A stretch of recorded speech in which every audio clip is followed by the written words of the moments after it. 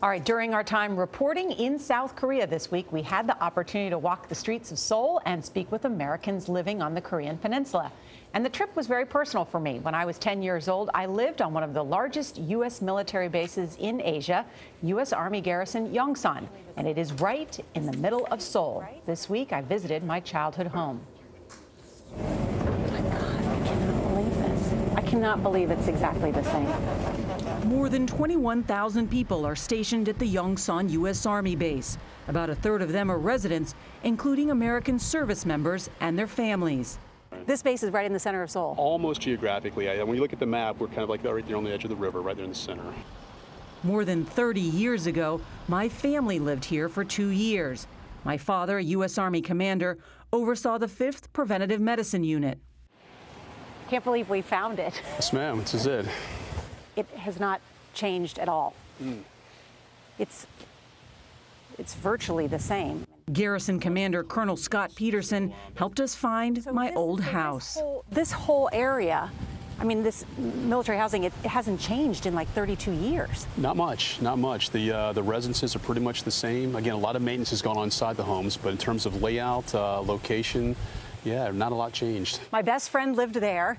In this duplex, I lived here with my three siblings and my parents. Um, I can remember doing Easter egg hunts out sure, the back. Sure. It's different. There used to be, there actually used to be a helicopter landing pad mm. in the back. Yeah, that's no longer there.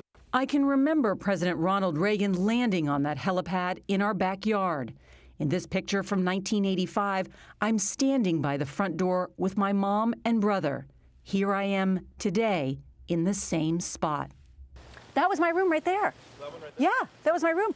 Even though the base is about 25 miles away from the DMZ, safety was never a concern for us. It was a great place to grow up. It really was a great place because we could, you were safe. Right. Even though you're in the middle of a foreign country. Right. In Seoul, South Korea, I could ride my bike and my parents weren't worried about me at all at 10 years old. They said, go play. No, this is a great community here. Very, very close community. All the families are very close. The kids all play together. As you said, uh, it couldn't be safer, so we're very proud of it. We also visited my school, Seoul American Elementary. So this would have been probably my classroom. Fourth grade classroom. Fourth grade classroom. This is where you went to school. 30 years ago! Let's take you inside. Oh my God. You. Yeah, so this would have been your classroom 30 years ago. This would have been my classroom. Yes. Oh my gosh. It's, it's virtually the same. This is the same, right? The one thing that would be changed is there's a TV. There's a smart board. Yeah. So it's an interactive smart board that you would use. Can you believe I was 10 years old in this classroom? Today, the elementary school upholds its reputation for delivering a top-notch education. Our students are still performing at such a high level yeah. that they're able to go to school anywhere they want to in the right. country. See, you have you have a graduate of this school who's now a journalist on go. CBS. It's a great thing. It? yeah, it's a great country. It's a great installation. Yeah, it's a great place to live and work. That's for sure. The students great. do well though. They still are doing well. And who knows, we may have the next CBS yeah. anchor here. Hi, Jungwon. This is Norah.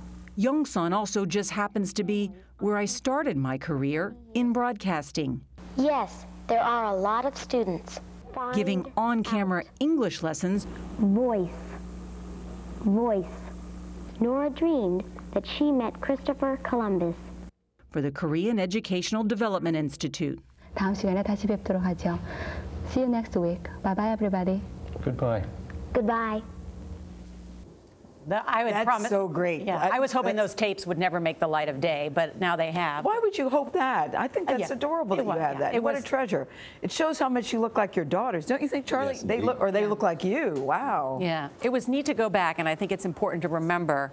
You know, so many. It's not just soldiers who are overseas, their families are sometimes with them. And that's part of the reason they're moving, you know, out of Yongsan and moving it to Camp Humphreys because they've got families they've got to keep be safe. safer for them. Yeah. I think it's interesting that at 10 years old, you knew you wanted to do this. I just wanted Barbie's dream house.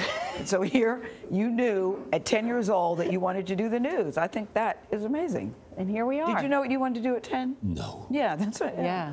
I had no clue what I wanted to do at 10. You wanted to be a doctor, right? Uh, early on, yes. Yeah. Yes. I didn't change until I got to college. No. Now we're all here together. Now we're here. Lucky us. Yeah. All right. Great trip. Welcome back, Norah O'Donnell. Thank you.